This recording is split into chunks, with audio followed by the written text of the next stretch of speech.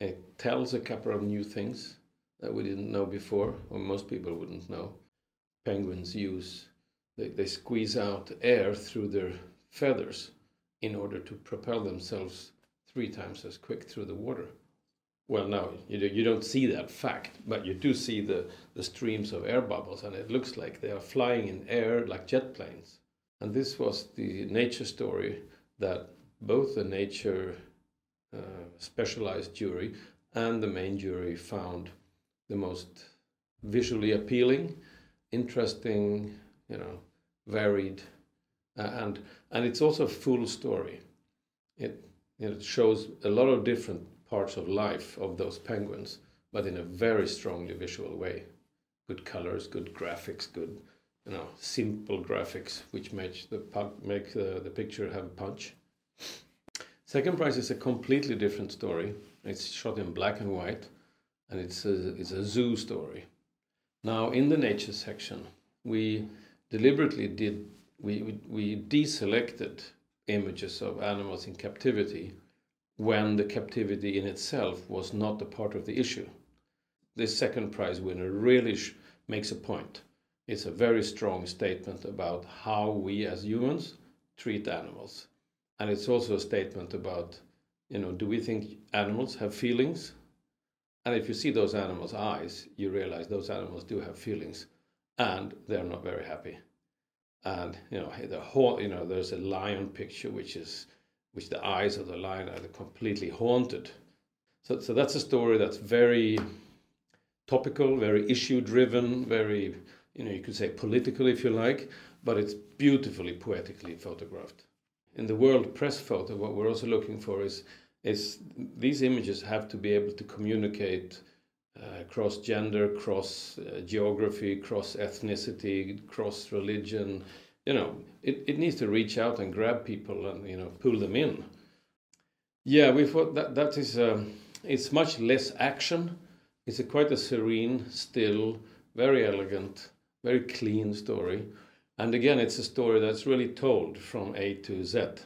Uh, you know, some distant pictures, poetic in the, themselves, you know, lit, natural lighting.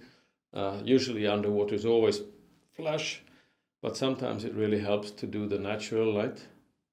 And uh, then there are some real reportage uh, showing issues. You, know, you see a boat propeller and the shark, which tells you that, okay, there's a, there could be a conflict here, there could be a problem.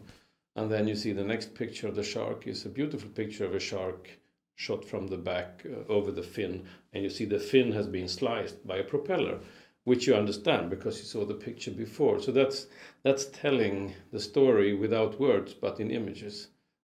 The second prize is um, is a very disturbing image and completely crazy. It's it's a captive monkey that is used in the streets of some place in Indonesia to um, to beg money or to to uh, to earn money for the owner of it and to spice up the attraction, so to say, not just having a monkey running around in a, on a leash. So what you see is a, is a doll face and a monkey body running around. And of course, that is it's very visual. And I'm sure it attracts more money, so to say, for people passing by than just a monkey would have done. But it poses very serious questions, you know, how do we treat animals?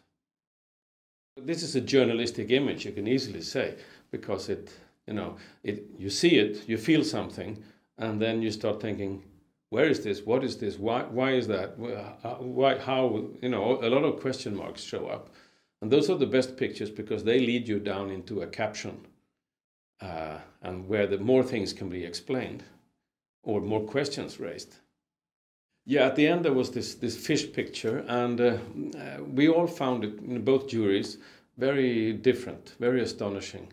First of all, the, the fishes, you know, looked like a, a rocket or a, what's called a trumpet, but we didn't see the front end of the trumpet, and um, it shot very close and with a very short depth of field, and it looks like natural lighting, but there is a sun. It's close to the surface, and it's a sun somewhere maybe a sunset or some orange skies that are reflected in the one eye.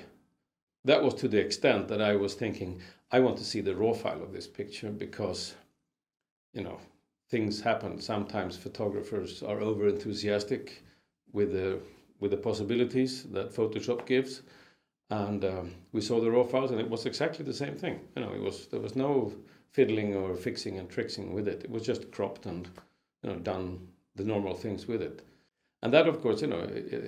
Uh, more and more in journalism and photojournalism, in photography, this is an issue. Um, if we pretend that the images are documentary, you know, it's a statement that it was something that really was in a certain way, and then you can't change it too much.